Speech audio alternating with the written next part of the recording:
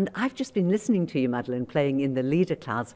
And frankly, and, and there was lovely, lovely singing, but I could have just listened to you play all those pieces through. They were so different. Uh, they sounded really difficult to me, but beautiful, beautiful playing. Did you enjoy it? You looked like you were enjoying it. It's my favourite class because the, the piano part is as important as the vocal part. So, for, you know, for ego reasons, I love it. well, not just going umpa, umpa, umpa all the way through. I don't think you've ever done that, ever, ever.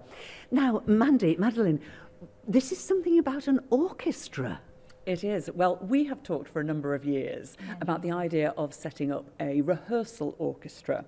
What is a rehearsal orchestra, you might ask? Well, it's for people to just come along and play. There's no pressure of getting ready for a public performance. You might have got your instrument last week and just started it. You might have an instrument that's been in your cupboard for 25 years and you've not had it out from when you were 14 years old. You might be a really experienced player who just wants to come and play more. So the idea is we'll just get together once a quarter, we're thinking at the moment, play through some great music, and then all go home. And, and that's that. So the Manx Rehearsal Orchestra, uh, as I say, we've spoken about it for years. We decided about two weeks ago, let's just do it. Let's not talk about it anymore. Let's have a go.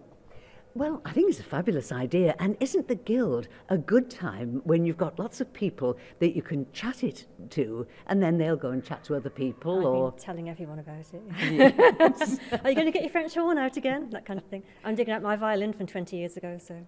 Really? Yeah. Really, but the, it's, it's to, to, to me, somebody who, who sees you as so accomplished as a pianist, to think that you've got another instrument in your repertoire that, oh, yeah, I'm bad that at you. It. I, I was I met my husband through the Bank Symphony Orchestra, and I was sit at the back of seconds and I'd mime the violin. I didn't really play it.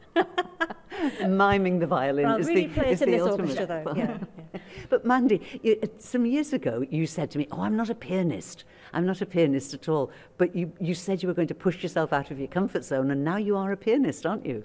No. and I suspect Madeline would agree with that. No, no. I tinker, I dabble, I really enjoy it. And it's something, if I had more time, it's, time's always the thing, isn't it? If I had more time, I would really love to do more piano stuff.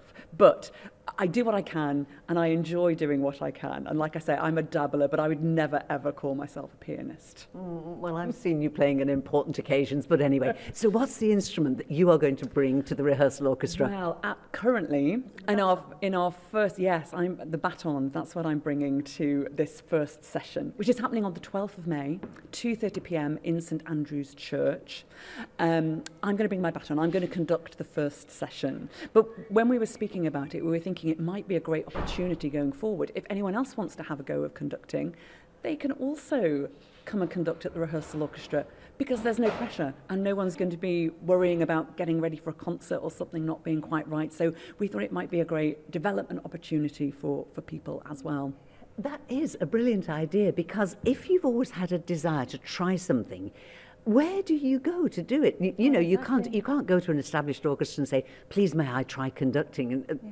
You know, it's very hard to um, get into conducting because you can't just gather 50. You can't just find 50 musicians and say, "Right then, I'm going to learn to conduct today." That doesn't happen. How have you been doing it with the choral society?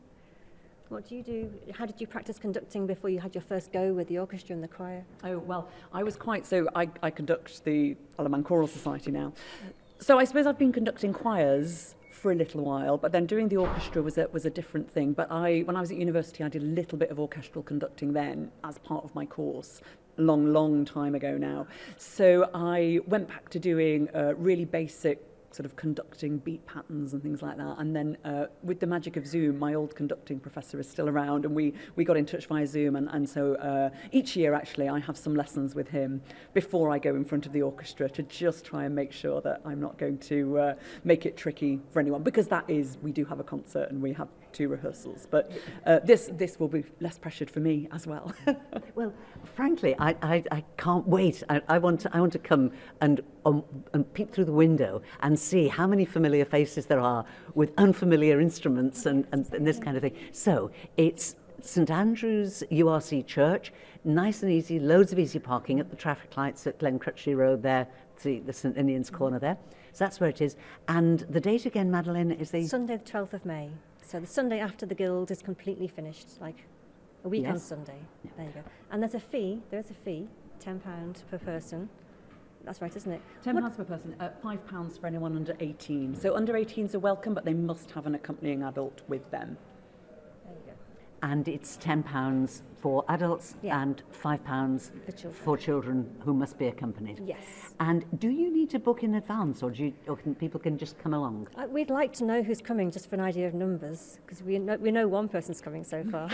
well, I'm sure there's been lots of verbal, but only one written confirmation of anyone. Everyone's like, yes, we'll probably will come, but So do you mean this could be the rehearsal ensemble, just to start off with, no, rather than... I'm no- sure it's going to be an orchestra. We've got a Facebook page, Manx Rehearsal Orchestra. So if anyone would like to know more or to let us know they're coming, that's that's the place to, to look. So go to facebook.com, search for Manx Rehearsal Orchestra. All the details will be there. People can indicate their, uh, their willingness to come. They can sign up. They can tell you that they're going to bring their flugelhorn or whatever it might be. And um, I think it's absolutely brilliant. I wish you every success. Thank you for telling us about it. And I shall spread the word everywhere I go. Thank you very much. Thank you, Judith.